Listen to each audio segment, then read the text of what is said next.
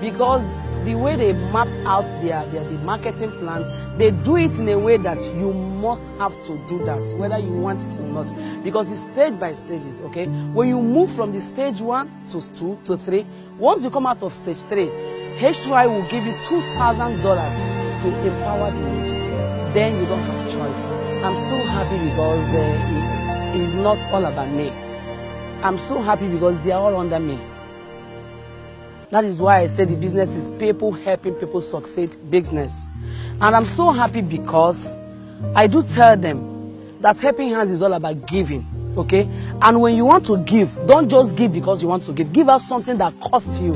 I joined Helping Hands 2014 September.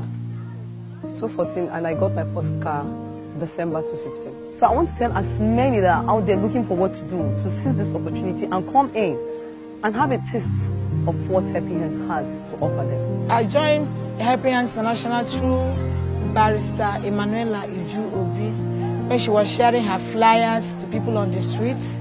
So I picked the flyers, I asked her what is it all about. She told me it's an NGO that is out to touch people's life.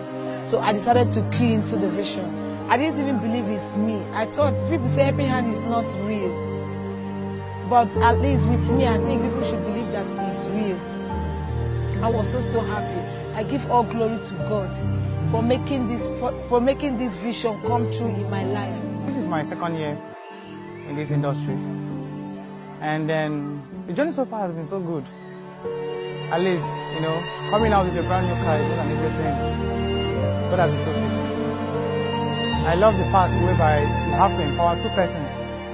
When you finish from stage three to stage four, that means when you finish from a super bouncer to a minister level.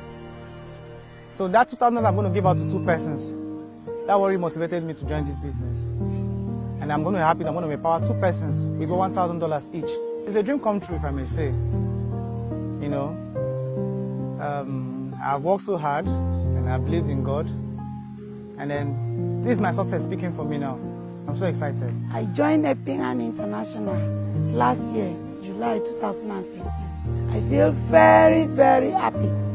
I return all glory to God Almighty, who made that day a reality, a reality for me, because I didn't believe. Even when they told me about everything, I was just say, okay, let me just complete everything and see if this thing will come true. And that day, when I saw my car, I cried. I joined Helping Hands August 2000.